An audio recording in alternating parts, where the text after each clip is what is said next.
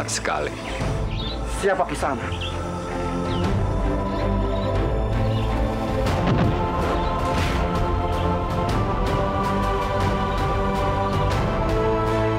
Raimundi. Mari Raka, kita kembali ke tempat yang tadi. Mari,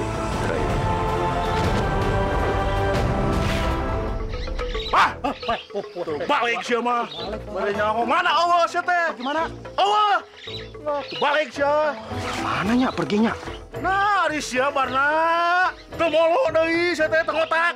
Teu nyaho make nanya ka aing sih mah. Itu kesaha. Kau yang mana? Kamu tuh jangan marah-marah. Nanti teh cepat tua, giginya tambah rontok. Nah, ari si lain piamakeun euy. Menghina deui sih. Ya sudah, sekarang kita cari ke tempat lain euy. Prajurit. Ayo yuk. Kenapa resi tua itu selalu saja muncul?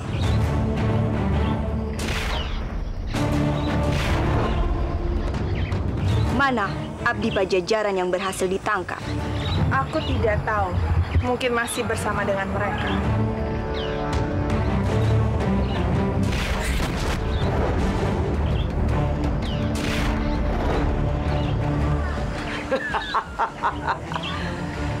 Kamu jangan terlalu cemas. Kami sudah membawakan apa yang kalian inginkan. Wirageni, jubah merah.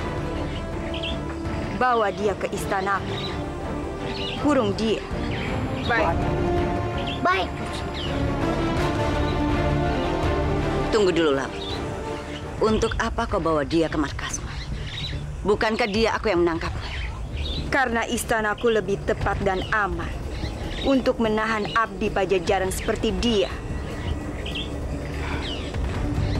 Karena Siliwangi dan pengikutnya pasti akan mencarinya.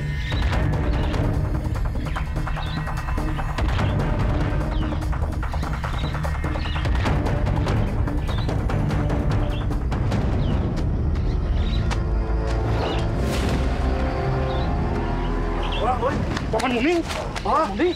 Alah, kunaon ieu euy? Ya Allah, kunaon ieu euy? Sepertinya teh paman Muning teh terluka. Alah, Paman Muning, kumaha ieu euy? Oh, kumaha makasa?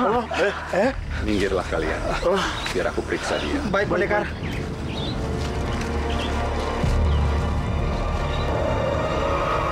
Tunggu ke sana. Jangan sentuh dia.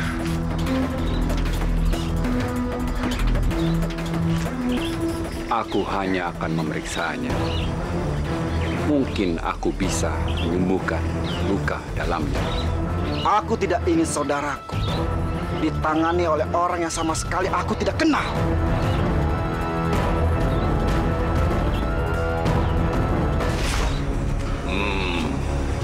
Biar aku saja yang memeriksanya.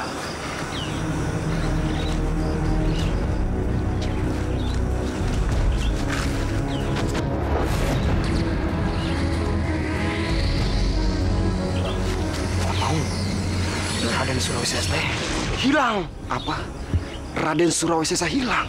Oh, sepertinya teh dia diculik sama orang. Ah, benar sekali Paman Maung. Ketika kita bertarung, eh tiba-tiba Raden Surawi Sesa hilang, euy. Iya, Culik gimana euy, benar? oh, iya gitu.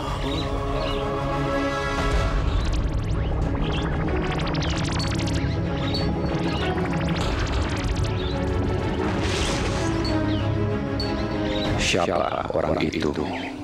Siapa pun dia, sebaiknya Nanda Prabu segera mencari dia secepatnya. Baik, Resi Guru. Hei, tunggu! Biarkan saja dia pergi, Tunggu. Tapi Resi. Raimunding. Raimunding, Raimunding.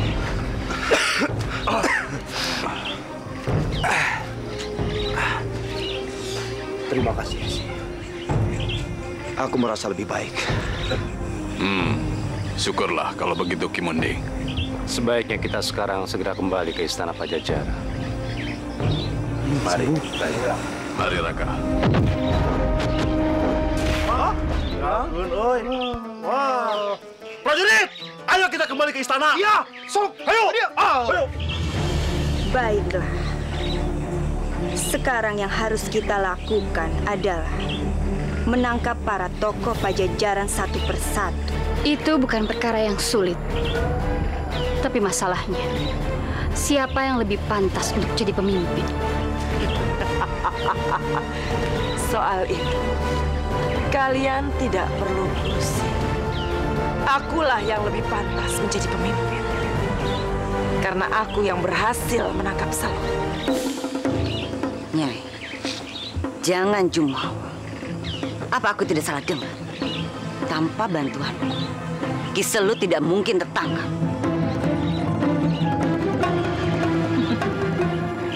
Burak, kamu menangkap selut saja. Sudah sombong. Orang bodoh juga bisa menangkapnya. Jaga bicara. Tahan.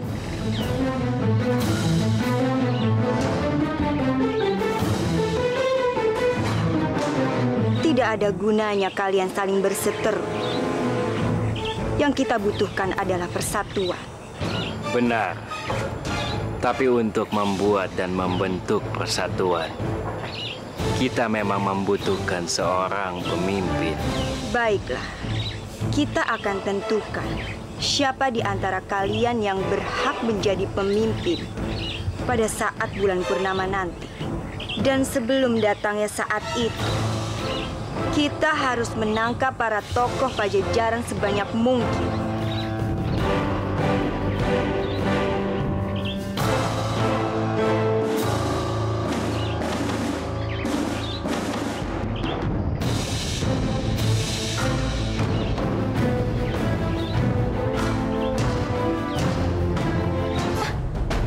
Putraku Raden Surawi Sesa hilang.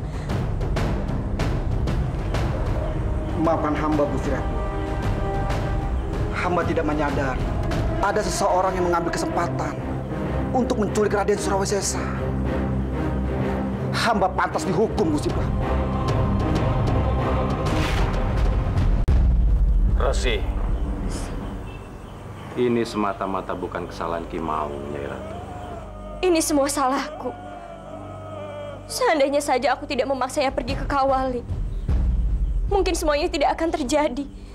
Itu bukan kesalahanmu, Dinda. Ini kesalahan Kanda. Karena Kanda yang sudah memutuskannya untuk pergi ke Kawali. Sudahlah. Kita tidak ada yang tahu apa yang akan terjadi nanti, esok ataupun lusa. Yang penting sekarang Nyai Ratu tenang. Sebab seseorang sedang mencarinya. Seseorang. Siapa yang dimaksud Resi? Apakah orang asing itu? Siapa dia? Dan aku pun tidak akan berpangku tangan, Ratu. Aku pasti akan membantu mencari. Terima kasih, Resi. Sama-sama, Nanda Prabu.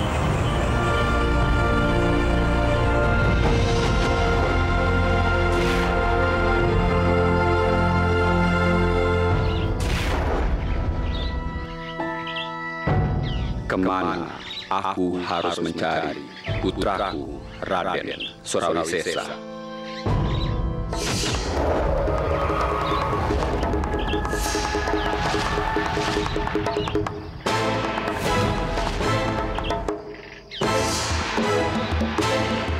Siapa pun yang menculik putraku, pastilah memiliki ilmu tinggi. Ia telah membentengi dirinya hingga tidak bisa ditembus oleh mata batinku. Aku ikuti saja ke mana angin itu bergerak.